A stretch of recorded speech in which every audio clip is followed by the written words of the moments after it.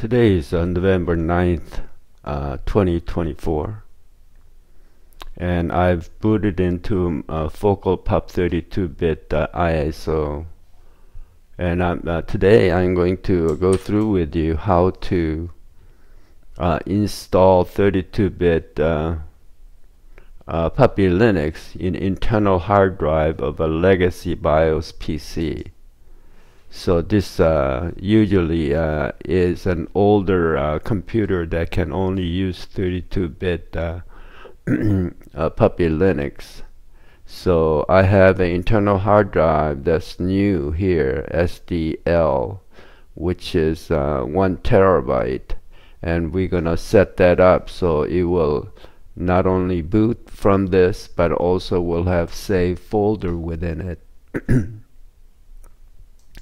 So I realized that you're not going to have a focal uh, PUP32 uh, uh, loaded up uh, when you want to follow this. So easiest way to do it is just boot into Ventoy USB stick and uh, put in a focal pup ISO in it so you can boot into it. And then you'll come to a screen similar to this the next uh, major thing that we need to uh, do is to uh, go ahead and partition this hard drive.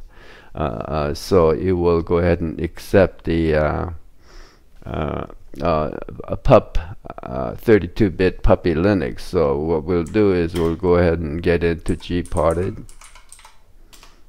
and in my case is the SDL so it will go all the way down SDL is a one gig, one terabyte I should say, and that's okay, that's the correct one. Right now it doesn't have any uh, file uh, because I wiped it off. So first thing what you want to do is go ahead and go get into create partition table and then make sure because we're going to be uh, using it in legacy BIOS it has to be MS-DOS uh, uh, tabletop uh, table type and we're going to apply. And then of course it's going to wipe everything out in that hard drive. So then we'll go ahead and uh, new. And then because uh, we're gonna uh, initially we're just gonna uh, install uh, one 32-bit uh, puppy ISO so they'll take actually less than a one gig. But we'll go ahead and since we got plenty of space we'll go ahead and give it full gig around the 4 gig and ext4 is fine. And then we're gonna uh, give it a uh, label of capital pups. So and then we can go ahead and add ALTA and then next we're gonna have to uh, create another one. And because of the uniqueness of uh, Puppy Linux with the say importance of save folder, uh, uh, I uh, strongly recommend that you go ahead and create a separate uh, save partition. So we'll just go ahead and uh, give it, let's say, let's say, let's give it around 30 uh, 30 gig so less than 30 gig so and then we'll label it as uh, anything you want but the VV just has to be unique. In my case so we'll go ahead. This is gonna be a save partition. And then we can go ahead and add. The next uh, is uh, is an option. But I think that because we have such a large space what we may want to do is save a uh, separate partition here for all the data like photos and music and so on because if you do want to install more than one 32-bit Puppy Linux and then be able to uh, access all your files, music and photo and so on this way you can use this partition. No matter how many Puppy Linux uh, uh, ISOs you're running without having to copy it uh, in individual uh, uh, partition. So I hope that's clear. So, so since we have a uh, very large hard drive, we'll give it plenty of space here, and I want to leave a little bit in the back, and just, uh, ju in case you don't need a, uh, a swap uh, swap partition uh, generally in Puppy Linux unless you have less than 4 gig of uh, RAM.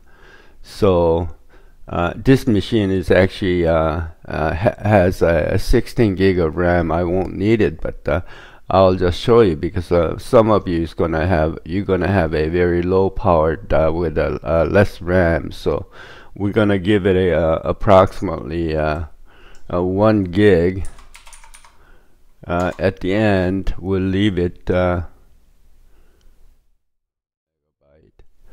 and then this we're gonna uh, uh, label this as a small letter data. So that's where all the data of the photos and so on is gonna go to. And then we have this last one here. So if you uh, have a less than 4 gig of RAM you may want to just put a, a little bit of Linux swap there and then what we're gonna do is we're gonna apply everything. So we'll just go ahead and apply everything. Now to be able to have this as a bootable device we must not forget to uh, put a uh, uh, partition 1 uh, flag. So we'll just do that uh, as soon as this is finished. So this is finished now and we'll go ahead and go back to the parti first partition and then manage flags and we will ha have to uh, click the uh, boot.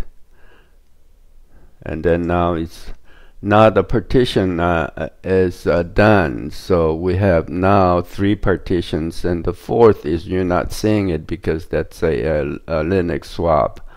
So what we need to do is fill the first partition with a 32-bit uh, uh, Puppy Linux so I have a I have it ready in an external drive here files that we may need. So I'm just going to go ahead and grab a ISO file.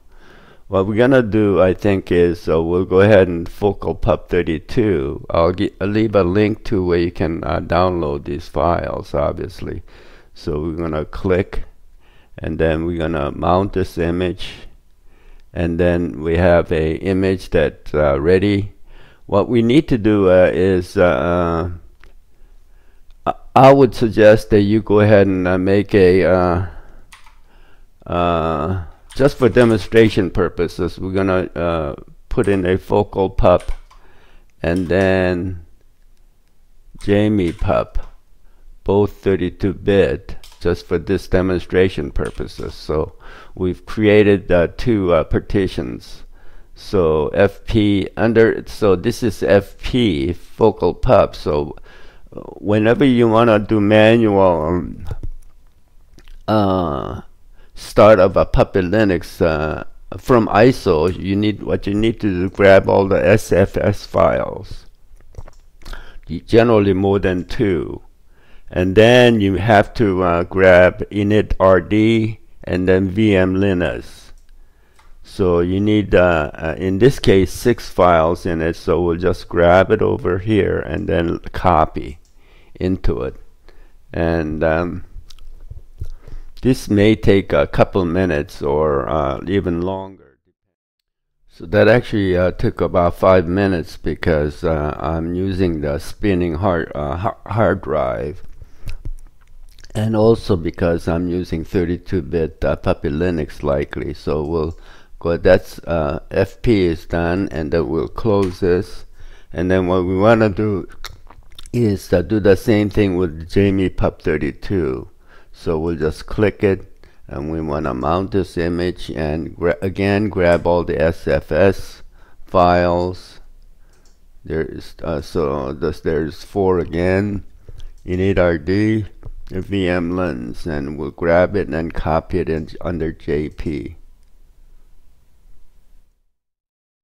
Now I've done the exact same with the JP which which is uh, opened here and JP uh, was done and then we'll just confirm it and uh, under JP you can see the files are in it so we'll just back out and then while we're at it at this time uh, what we'll do is go ahead and uh, populate the uh, data uh, partition here which has nothing in it.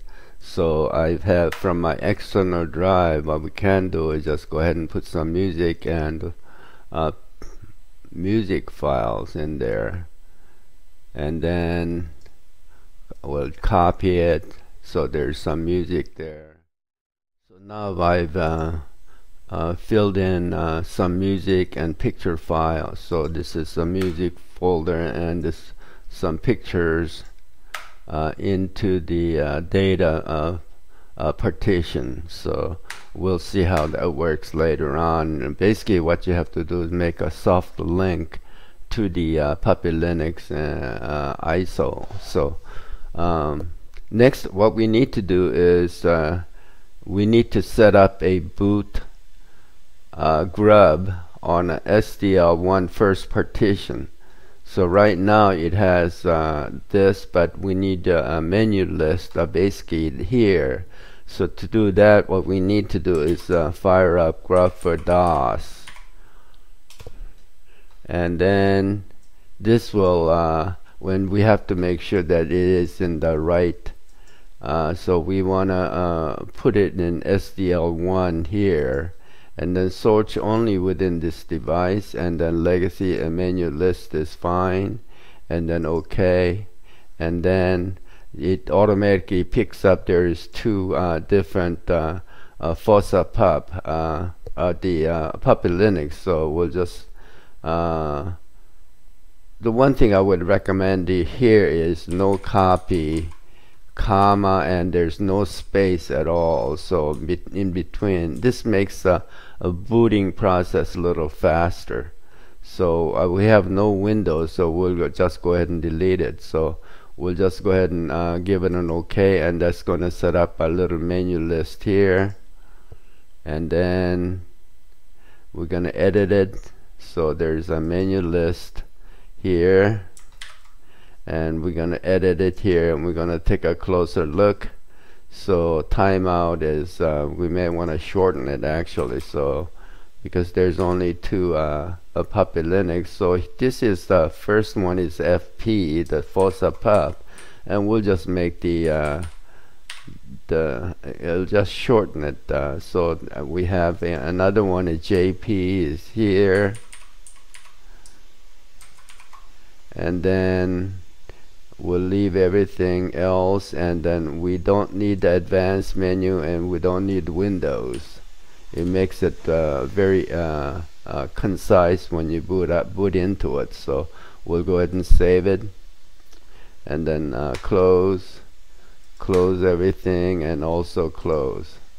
So now we're pretty much uh, ready to boot into the uh, the hard drive partition that we've just created.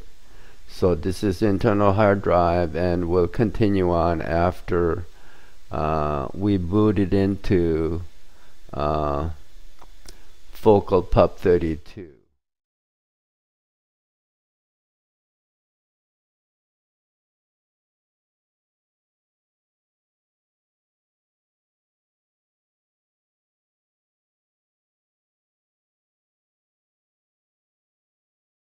Now I've booted into my new uh, uh, hard drive that's uh, installed uh, a Focal Pup 32.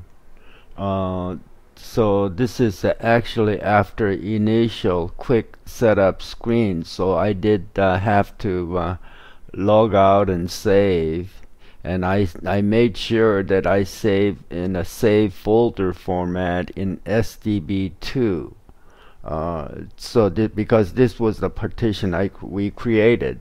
So let's take a brief look inside and then uh, automatically it um, it made the uh, uh FP folder within it.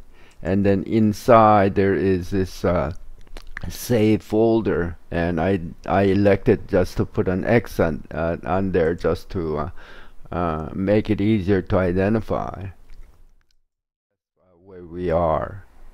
So before the first first thing we are, we ought to do just uh, clearly identify that this is the uh, hard drive uh, that we uh, uh, configured and set up. So it's good idea just to go ahead and right click and then run puppy uh, run a mount puppy drive mounter because I want this partition to be um, mounted every time after a boot. So because this is where the data is. So we'll just go to the data and then mount partition at boot. Okay so that way um, and then and then we can go ahead and mount it. So so that way this music and uh, a picture uh, folder will be uh, available as soon as uh, it boots up. So uh, while we're at it the first thing that I want to do is just go ahead and make it easier for me just minus sign makes it smaller. And here again minus sign and this is the home folder uh, root uh, folder.